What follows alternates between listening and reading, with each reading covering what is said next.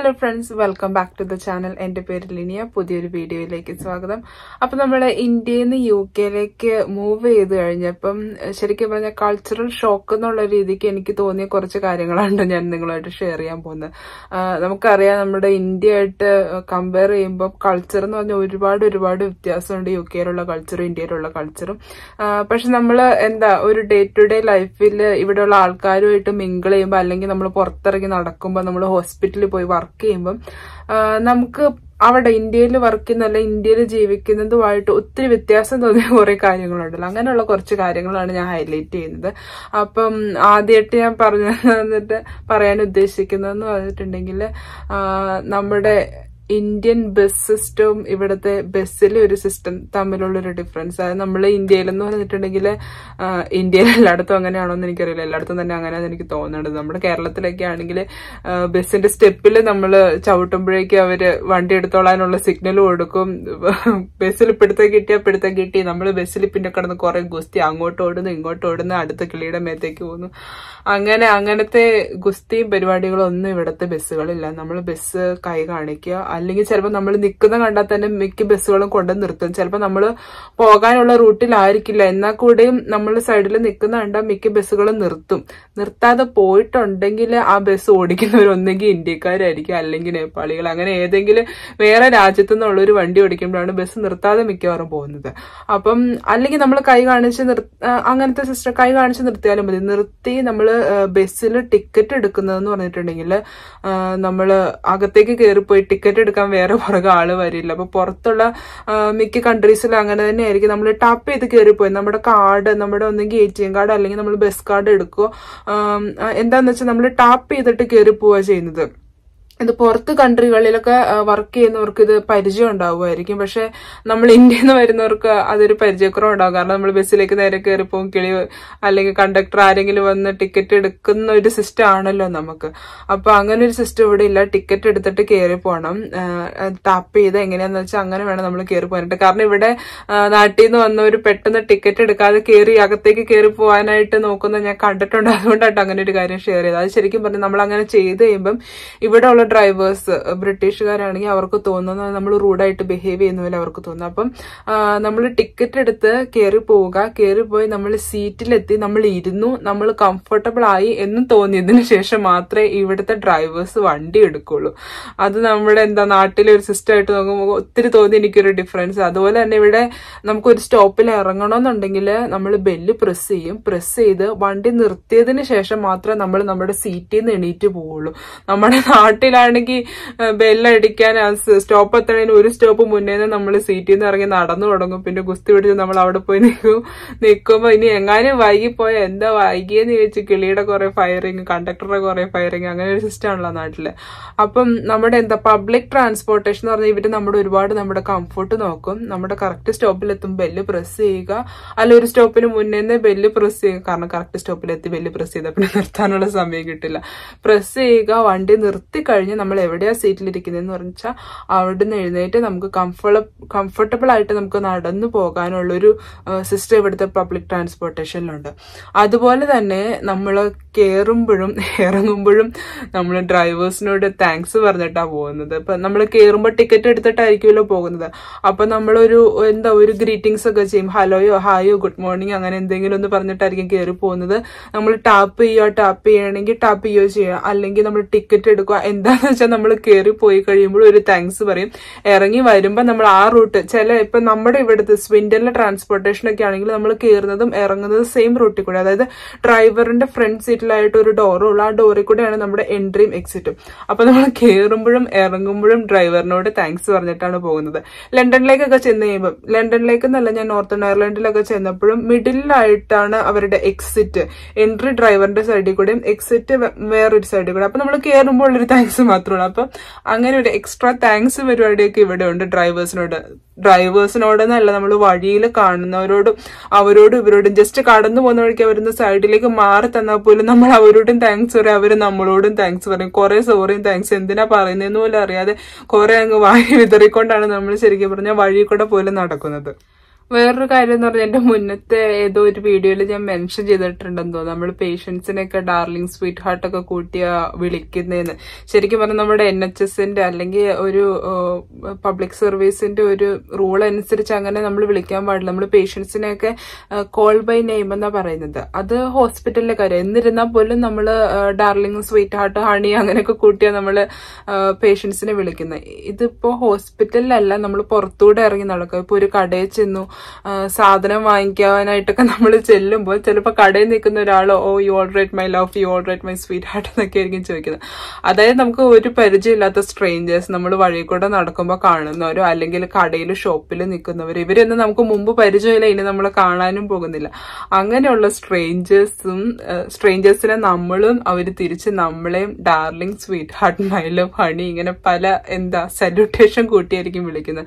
അപ്പം അതെനിക്ക് ഭയങ്കരമായിട്ട് വ്യത്യാസമായിട്ട് തോന്നിയിട്ട് കാര്യം കാരണം നമ്മുടെ നാട്ടിൽ നടന്നു പോകുന്ന വഴിക്ക് കടയിൽ നിൽക്കുന്ന ഒരു ചേട്ടനോട് ഓടിച്ച് ഓ മൈ ലവ് എന്ന് ചോദിച്ചിട്ടുണ്ട്. അതിന്റെ ഒരു മലയാളം തർജമ ഞാൻ എന്റെ മനസ്സിൽ തന്നെ ഒന്ന് നടത്തി നോക്കി. അയ്യോ എന്റെ പ്രണയിനി നിനക്ക് സുഖമാണോ?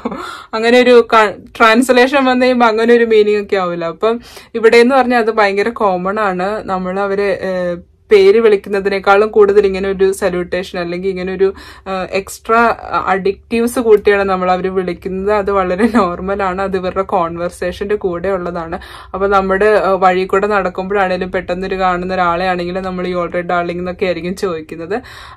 അപ്പൊ അതെനിക്ക് പ്രത്യേകിച്ച് എന്താ ഒരു ഡിഫറൻസ് തോന്നി നമ്മൾ ഒരിക്കലും നമ്മൾ എക്സ്പെക്ട് ചെയ്യാത്ത കാര്യം നമ്മൾ ഒരിക്കലും യൂസ് ചെയ്യാത്തൊരു കാര്യം കൂടിയാണ് നമ്മുടെ കോൺവെർസേഷനിൽ പിന്നെ എനിക്ക് ഹോസ്പിറ്റലിൽ വർക്ക് ചെയ്യുമ്പോൾ ഒത്തിരി വ്യത്യാസമായിട്ട് തോന്നിയ ഒരു കാര്യം ഇത് ഞാൻ മുന്നത്തെ വീഡിയോസിൽ എവിടെ മെൻഷൻ ചെയ്തിട്ടുണ്ടെന്ന് തോന്നുന്നു. നമ്മൾ എല്ലാവരെയും വർക്ക് ചെയ്യാനായിട്ട് ചെല്ലുമ്പോഴാണെങ്കിലും നമ്മുടെ കൊളീഗ്സിനെ അത് അവർ എത്ര സീനിയേഴ്സ് ആണെങ്കിലും പൊസിഷനിൽ ഇരിക്കുന്നവരാണെങ്കിലും എല്ലാവരെയും നമ്മൾ പേരാണ് വിളിക്കുന്നത്.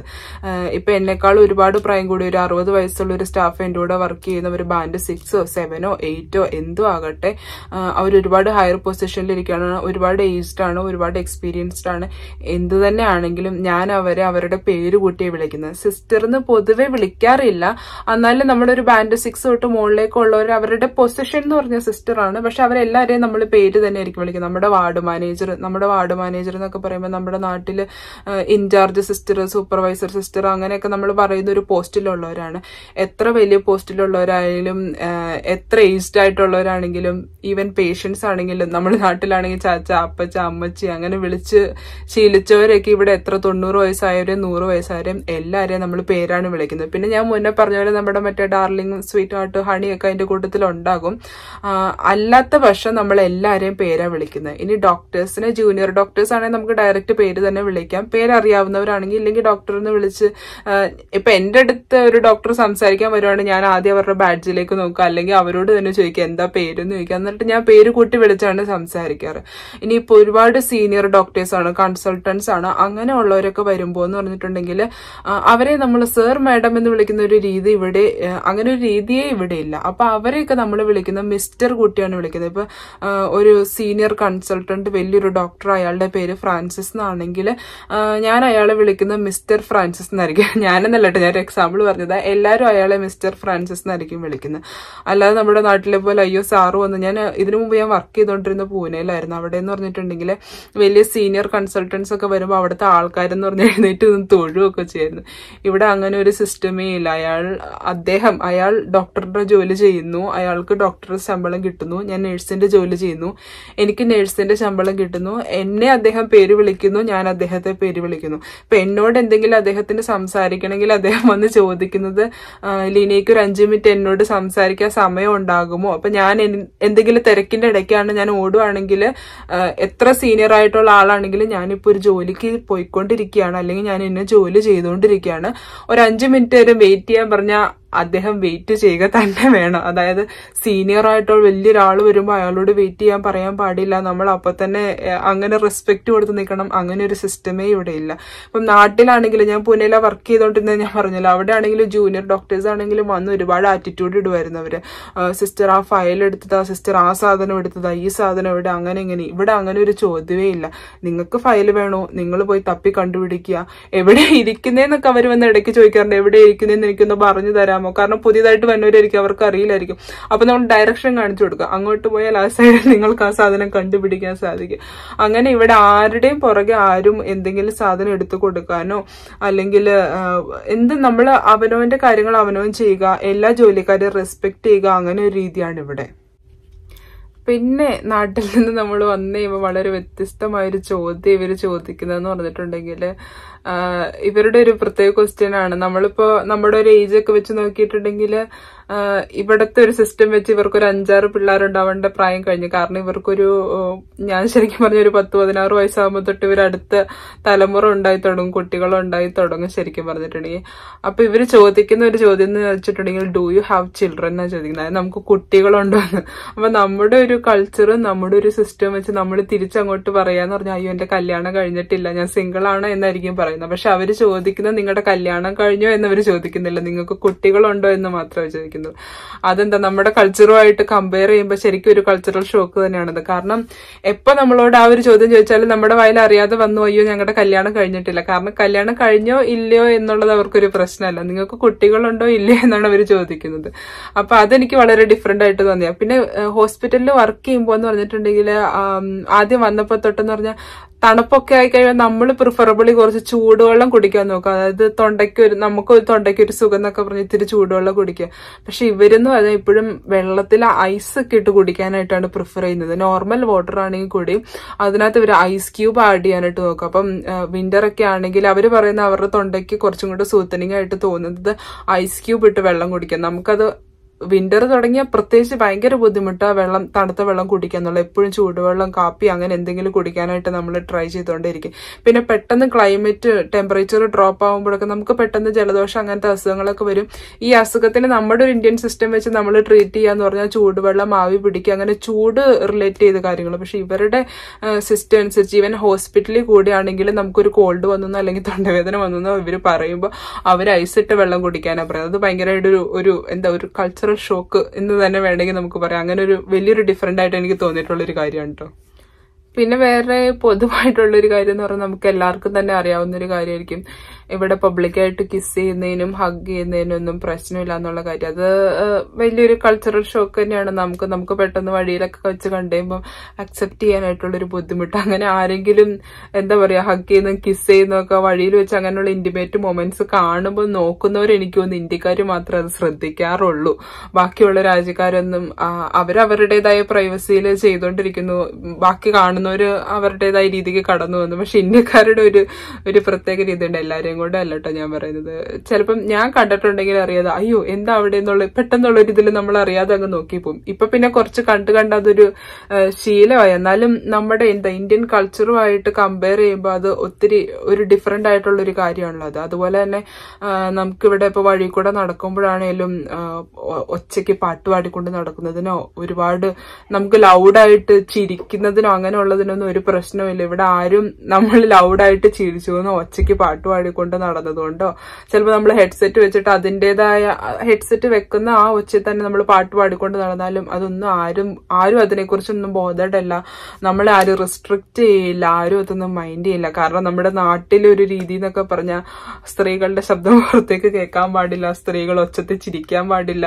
അങ്ങനെയൊക്കെയുള്ള ഒരു സിസ്റ്റത്തിൽ നിന്നാണല്ലോ നമ്മൾ വളർന്നു വന്നത്. അപ്പൊ ശരിക്കും പറഞ്ഞാൽ നാട്ടിലായിട്ട് കമ്പയർ ചെയ്യുമ്പോൾ ഒന്ന് ഒച്ചയ്ക്ക് ചിരിക്കാനൊക്കെ തുടങ്ങിയത് യു കെയിൽ വന്നിട്ടാന്ന് എനിക്ക് ശരിക്കും തോന്നിയിട്ടുണ്ട്. അപ്പൊ നമുക്ക് എത്ര ഒച്ചയ്ക്ക് വേണമെങ്കിലും ചിരിക്കാം. നമ്മൾ വർക്ക് ചെയ്തുകൊണ്ടിരിക്കുന്നതിന്റെ ഇടയ്ക്കാണെങ്കിലും. ഇപ്പം നമ്മൾ ഡ്യൂട്ടിയുടെ ഇടയ്ക്ക് എന്തെങ്കിലും ആരെങ്കിലും ഒരു തമാശ പറഞ്ഞു നമുക്കൊന്ന് ചിരിക്കണമെന്ന് തോന്നി. എത്ര ഒച്ചയ്ക്ക് വേണമെങ്കിലും ചിരിക്കാം. നമ്മൾ ആ മൂലയിൽ നിന്ന് ചിരിക്കുന്നത് ഈ കോർണർ വരെ കേട്ടാലും ആരും ഒന്നും പറയില്ല. നമുക്ക് പേഷ്യൻസിന്റെ മുമ്പിൽ വെച്ച് ഒച്ചയ്ക്ക് സംസാരിക്കാം. അവരുടെ മുമ്പിൽ വെച്ച് ചിരിക്കാം.